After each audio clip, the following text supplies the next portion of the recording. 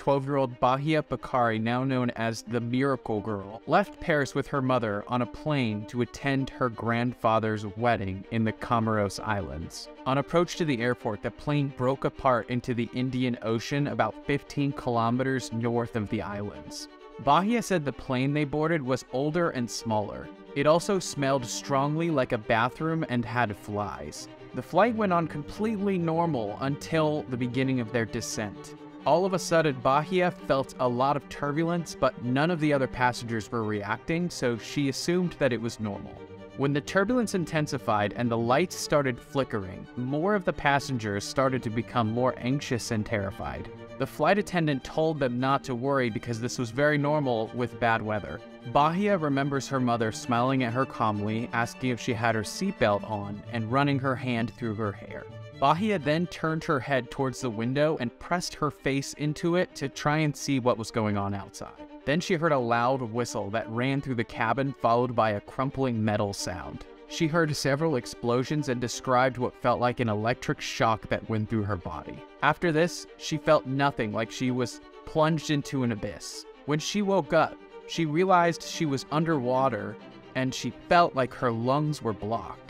Thankfully, she drifted up to the surface and was finally able to breathe. Because she was submerged underwater for some time, she felt like her throat and her lungs were on fire. Her left eye was also painful and she couldn't open it completely. She heard voices crying and calling for help, but because it was the middle of the night, she couldn't do anything. She couldn't see anyone. Luckily, she found some debris. Not knowing how to swim nor having a life vest, she was still able to pull herself up onto it. Because the debris was smaller than she thought and she couldn't get her legs up on it, she just hung onto it and rested her head.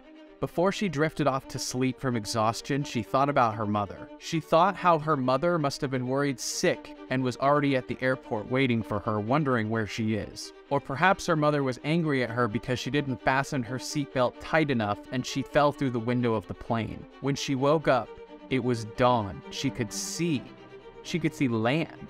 Bahia attempted to paddle towards the land, but the water was pulling her further away with how choppy it was. She had been in the water for about 13 hours when someone from the rescue efforts found her. They spotted her clinging to a piece of debris around bodies and wreckage. Bahia heard someone shouting, Come here. When she spotted the boat, she let go of the debris and tried to swim to the rescue crew and couldn't. She was too tired, and suddenly a wave crashed over her and she disappeared from sight. This was when one of the volunteer rescuers jumped into the water and swam 30 meters to grab her. A life preserver was thrown to both of them so they could be pulled back in the choppy waters. She was wrapped in warm blankets and given warm sugar water to drink while being rushed to the hospital. Bahia was found suffering from hypothermia, a fractured collarbone, bruises to her face, elbow, and foot, burns to her knees, and actual exhaustion.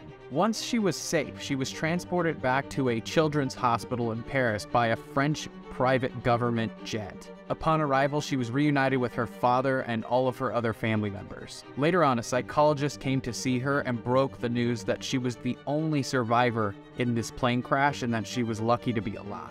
Bahia did not understand what the psychologist was saying at first. She knew that she fell from the plane, but it took her a moment to understand that not only did she fall from the plane, but all 152 passengers outside of her, including her mom, also fell from the plane and were presumed dead.